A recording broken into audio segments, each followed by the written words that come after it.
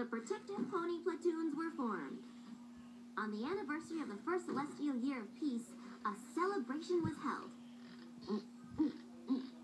Headed by General Firefly, an elite team of aerial performers were chosen to help commemorate this auspicious occasion.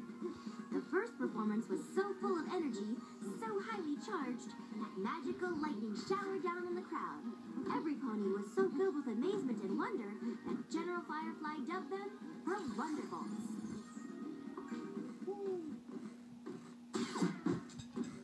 Rainbow Dash, can you repeat any of my lesson?